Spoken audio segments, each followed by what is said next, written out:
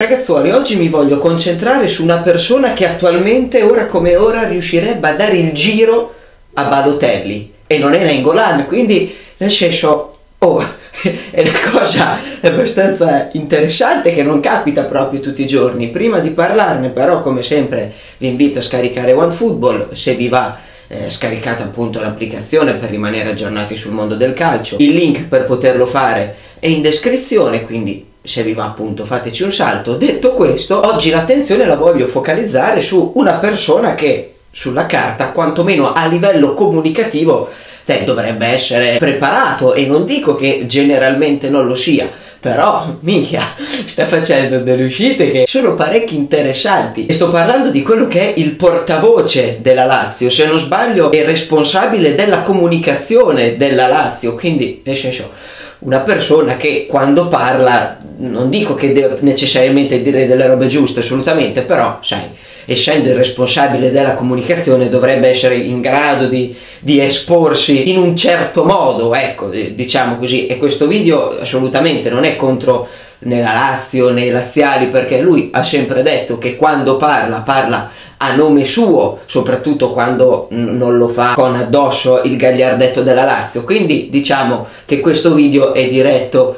a, Diaconale in sé, non alla Lazio, non ai laziali. Poi non sono qui a dire che magari lo Tito abbia un pensiero completamente diverso dal suo, considerando che la Lazio lunedì tornerà ad allenarsi e la Salernitana fino a domenica si allenava, che sono appunto le due squadre di Lotito. Però rimane il fatto che Diaconale nel corso di questi giorni, di questi giorni di quarantena, se ne è uscito un paio di volte con delle dichiarazioni che insomma, dai, lasciano parecchio il tempo che trovano. In questo periodo direi particolarmente evitabili, lui ci teneva a dirle, magari da responsabile della comunicazione le ha reputate giuste come frasi e va bene così. La prima volta ha parlato della sindrome da scudetto del 1915, quando a causa della prima guerra mondiale è stato interrotto appunto il campionato con la Lazio prima e di conseguenza eh, non, non, se è fatto più niente, anche perché appunto poi la guerra è durata qualche anno, non era magari questione di settimane, di mesi, dove dici vabbè,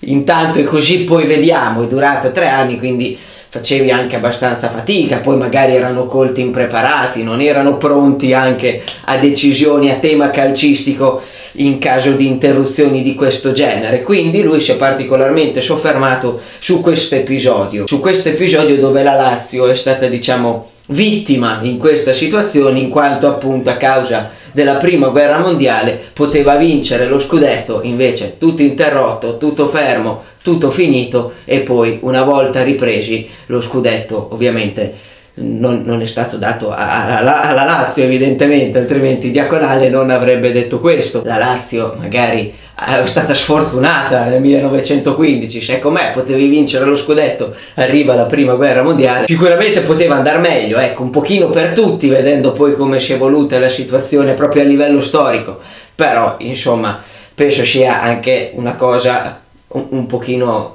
un, un pochino diversa, non penso poi necessariamente che quest'anno la Lazio sia stata vittima di questo problema qui e ci sia la sindrome del 1915, penso sia una situazione un pochino differente dato che come abbiamo visto hanno posticipato gli europei, hanno posticipato le finali di Champions League ed Europa League, quindi si presume che il campionato continuerà, nel senso va bene, questa situazione ha, ha spiazzato un pochino tutti quanti in tutto il mondo, però attualmente le competizioni calcistiche sembrano destinate a continuare, non sappiamo bene quando, però insomma adesso parlare di Lazio vittima perché è stato momentaneamente sospeso il campionato a causa di questo problema che eh, stiamo vedendo che è sempre più serio mi sembra un tantino eccessivo. Ma non è tanto questo il punto perché questa frase qui era evitabile personalmente parlando eh, assolutamente. Però sì, magari ancora la situazione non era proprio a questi livelli, dato che sono dichiarazioni di qualche giorno fa, e tanto tanto ci si potrebbe forse passare anche un pochino sopra. Ribadisco, se sei responsabile della comunicazione, già secondo me almeno, eh, ribadisco, dovresti evitare in partenza, però dì, facciamo che vale tutto e va benissimo. Poi però si arriva a un'altra dichiarazione che voglio dire. Già la prima, un pochino così, la seconda dai, se mi vai anche a dare ragione a Balotelli, te è responsabile della comunicazione con appunto Diaconale che ha fatto un altro intervento sempre su Facebook se non sbaglio, quindi parla a nome suo e non a nome della Lazio e ci tenga a ripeterlo, dove in sostanza ha detto che ha ragione Balotelli, hanno voluto fermare il campionato solamente quando la Lazio eh, si è ritrovata seconda, solo che qui c'è un altro tipo di problema, il vero punto è che la Lazio non si è mai ritrovata prima a parità di partita, che comunque non è una cosa così tanto banale se la vuoi buttare sul piano che è stato sospeso il campionato quando c'era la Lazio seconda. La Lazio prima c'è stata solamente durante la prima giornata con altre sette squadre. Poi dalla seconda alla ventiseiesima la Lazio prima nel corso di una giornata completa non l'è mai stata. Quindi voglio dire, anche qui, cioè perché necessariamente bisognava tirare fuori certe parole, bisognava proprio no, andare proprio a girare il coltello, dando ragione a Balotelli, poi un altro luminare dei tempi moderni. Cioè, ragazzi, dai, adesso parliamoci un attimino seriamente. Va bene tutto quanto, nessuno sta mettendo in dubbio il campionato che la Lazio aveva o sta facendo, adesso poi la possiamo girare come vogliamo. Tutti ammettono in tutta tranquillità che la Lazio sta facendo una cosa spettacolare a livello di prestazioni, a livello di partite, a livello di risultati, assolutamente.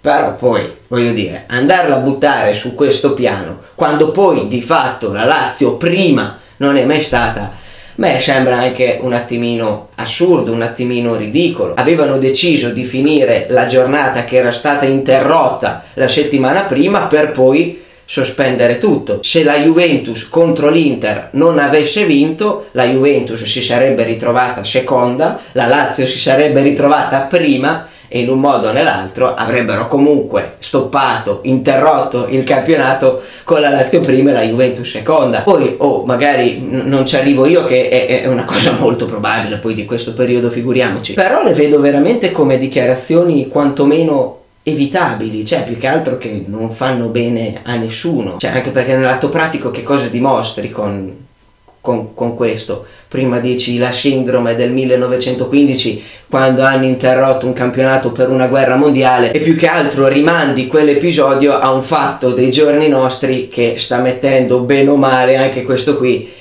in ginocchio il mondo. In più, in tutto questo dai anche ragione a Balotelli perché hanno dovuto sospendere il campionato una volta che la Lazio si sarebbe ritrovata seconda. Quando se la Juventus non avesse vinto contro l'Inter si sarebbe ritrovata lei seconda e la Lazio prima e soprattutto la Lazio prima nel corso di tutto il campionato escludendo la prima di campionato dove ce n'erano 8 appaiate a pari punti prima concretamente non è mai stata. Cosa devo dire? Speriamo che il campionato rinizi un pochino presto e che la Lazio possa continuare a deliziarci sul campo perché sta facendo delle cose veramente belle, stava facendo almeno, poi vedremo quando riprenderà il campionato, se riprenderà il campionato, come sarà effettivamente la situazione. Detto questo, fatemi voi sapere qui sotto la vostra con un commento, noi ci vediamo nei prossimi giorni, io vi mando un grosso abbraccio tanto per cambiare, fino alla fine. Forza Juve!